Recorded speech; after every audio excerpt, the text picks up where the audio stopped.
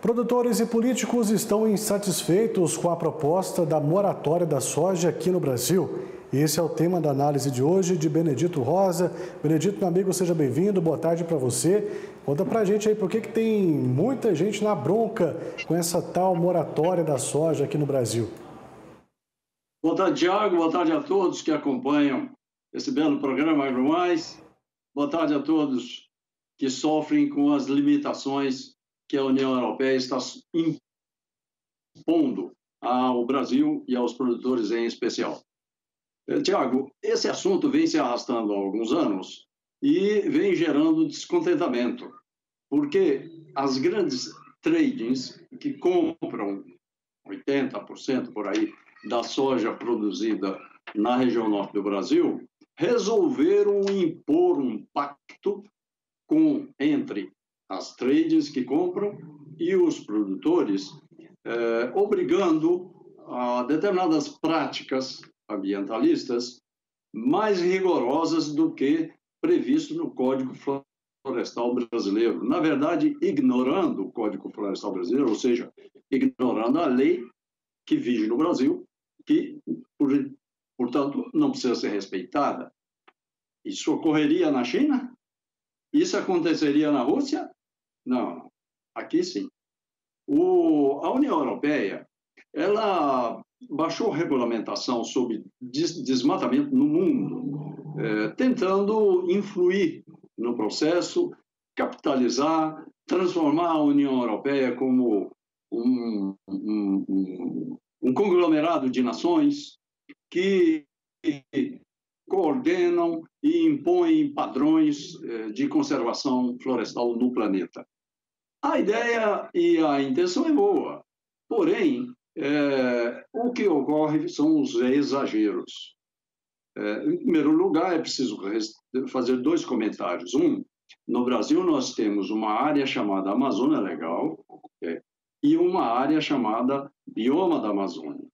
O bioma da Amazônia é, é mais sensível, é claro. Agora, a outra área que dá mais de um milhão de hectares essa também entra no bolo como o Amazonas.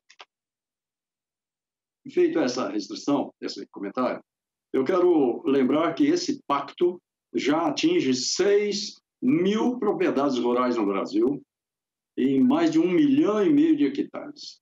Esse pacto exige que o produtor declare em documento, com valor jurídico, portanto, de que adota as regras estabelecidas pela União Europeia sobre desmatamento, que é, é muito rigorosa.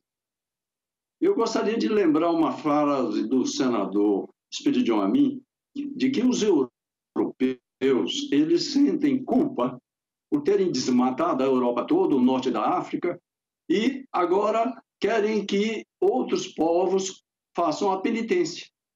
Essa frase é do senador eh, Spediani. E os agricultores brasileiros eh, estão incomodados, porque a exigência do Código Florestal é de que né, é, é, é, a comercialização não será aceita, para resumir a, a história, quando procedente de áreas desmatadas após 2008. E a União Europeia é mais rigorosa. Porque ela diz, com ou sem é, área legal ou ilegal, não entra na, na Europa produtos que é, forem obtidos com essa característica. Ora, o, o, a reação acabou vindo. O governo de Rondônia aprovou um projeto de lei, ah, perdão, promulgou um projeto de lei aprovado na Assembleia, que proíbe a concessão de benefícios fiscais a qualquer empresa que pratique essa exigência e nem concessão de terrenos públicos. Outro projeto de lei similar está tramitando na Assembleia Legislativa do Estado do Pará e também no Estado do Mato Grosso. Ora, é, cabe lembrar aqui uma frase da deputada é, Coronel Fernanda, Mato Grosso, que diz: olha, se as trades querem comprar soja de uma área que não foi desmatada antes, é, pós, perdão, pós 2008, que compre do sul do Brasil. Mas não. Eu acho que é preciso entender que os ambientalistas radicais europeus não querem só isso. Eles querem influenciar toda, todo o que se refere ao meio ambiente no planeta. E assim, politicamente, os partidos ou os políticos que na Europa erguerem essa bandeira terão o voto de uma parcela considerável dos europeus, eh, dos, dos eh, eleitores europeus. Tanto é que, aqui no Brasil, a pretensão é de estender essa moratória também para os cerrados. Ora, qualquer área que tenha sido desmatada depois de 31 de dezembro de 2008 não pode exportar grãos ou alimentos para a Europa. Isso não, não é bom para o Brasil.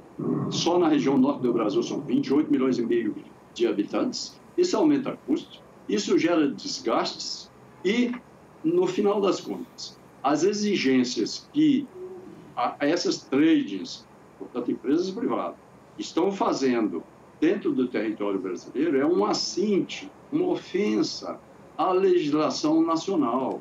Então, a lei brasileira não vale o Tribunal de Contas da União já está contestando essa exigência por parte dos bancos para conceder empréstimos com recursos públicos, seguindo uma lei que veio do exterior.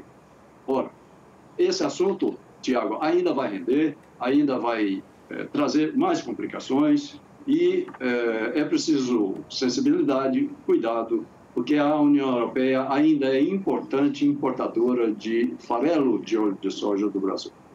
Sem dúvida nenhuma, né? E principalmente é, como fiscalizar tudo isso e determinar quais áreas eram ou não para entrar dentro dessa questão de moratória é uma, é uma situação um tanto quanto complicada. Nós vamos acompanhar de perto, meu amigo Benedito. Quero agradecer mais uma vez sua participação.